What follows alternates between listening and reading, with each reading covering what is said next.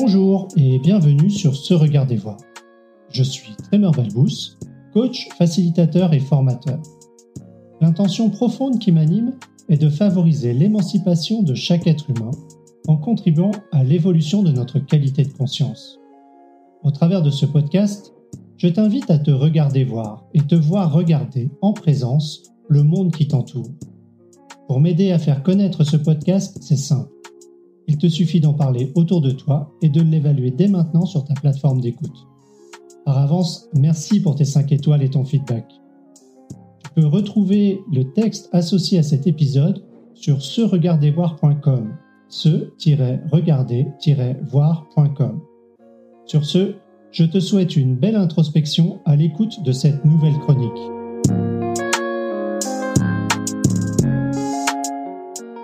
Action et réflexion un équilibre instable. Je suis parti en vacances avec deux intentions, ralentir et laisser place à l'émergence.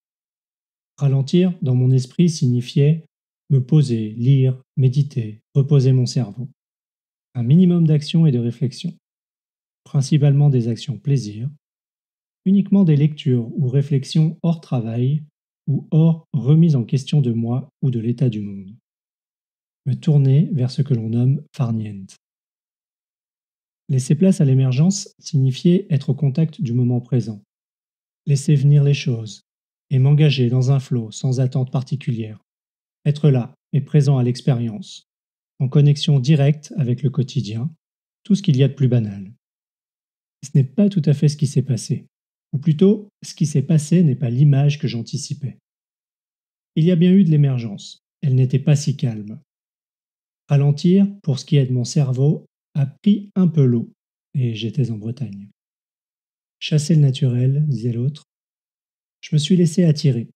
J'ai commencé à regarder une vidéo sur la gestion atomique de la connaissance. Elle a déclenché en moi quelque chose qui a rapidement pris de l'ampleur. Se regarder voir s'est transformé en me voir faire. Il faut dire que les principes proposés dans ces vidéos répondent à ce que je cherche depuis très longtemps. Enfin, une façon pertinente pour moi de digérer et gérer tout ce que ma curiosité et mon appétence pour la connaissance me mènent à consommer comme contenu. Comme l'agilité il y a 20 ans, la générativité dans les huit dernières années, l'atomicité entre en forte résonance. Une sorte de porte qui s'ouvre sur un territoire nouveau et une nouvelle façon d'explorer le territoire connu.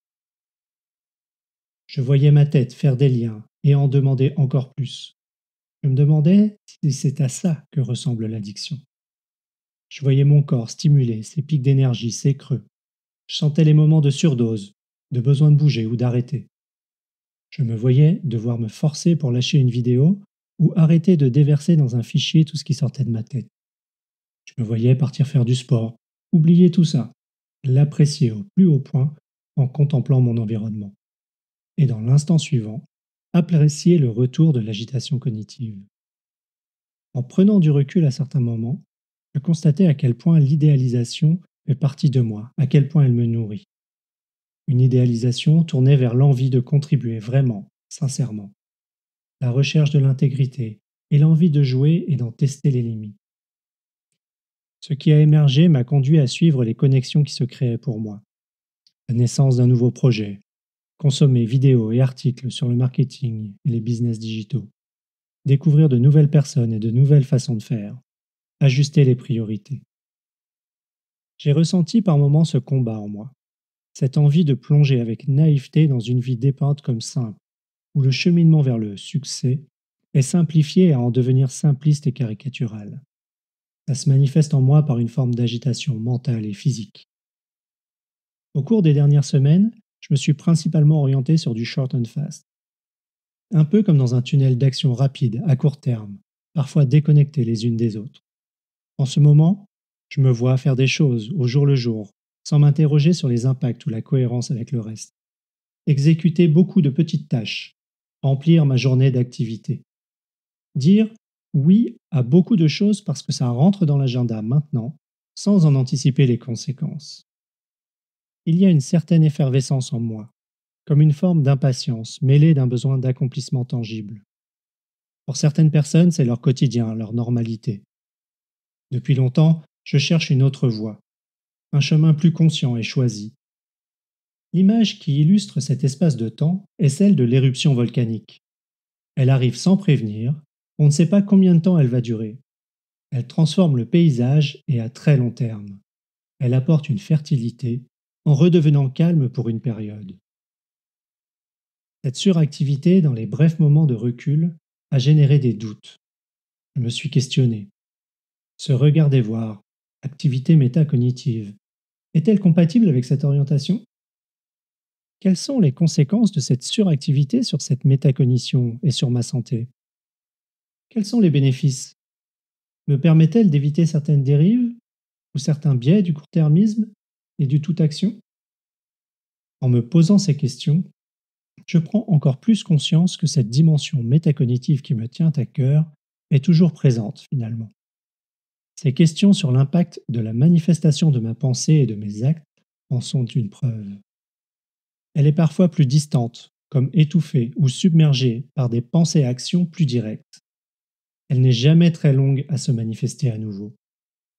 C'est un peu une forme de métacognition en léger différé, comme dirait un présentateur télé. Ce qui ressort de tout ça L'image que je me fais d'une séquence de temps a rarement à voir avec ce qui se passe vraiment. Être est possible dans une période dominée par une activité forte, short and fast. Tout ce qui a émergé ou presque est une combinaison de multiples activités, concepts, expériences et apprentissages accumulés dans une dynamique long and slow. Je reconnais et accepte que l'agitation frénétique a autant de valeur que le calme méditatif, comme deux faces d'une même médaille. Je n'ai plus envie de me chercher qu'un seul côté de la médaille. Je souhaite vivre les deux en dynamique, à l'écoute de ce qui est présent et de mes besoins physiologiques. Ces vacances m'ont permis de réaliser une fois de plus à quel point j'ai besoin à la fois d'action et de réflexion. J'ai longtemps rationnellement compris que les deux aspects sont mêlés et indissociables. J'ai l'impression d'avoir vécu cet entremêlement, et ça m'ouvre un horizon nouveau pour contribuer à la concrétisation de mon why favoriser l'émancipation de chaque être humain en contribuant à l'évolution de notre qualité de conscience. Et vous Comment jouez-vous avec cette polarité action et réflexion? Comment nourrissez-vous chaque dimension avec l'autre? J'ai hâte de lire vos partages en commentaire. Merci beaucoup pour ton écoute. Si tu es encore là, j'imagine que tu as apprécié cet épisode. J'ai deux petits services à te demander avant de passer à la suite.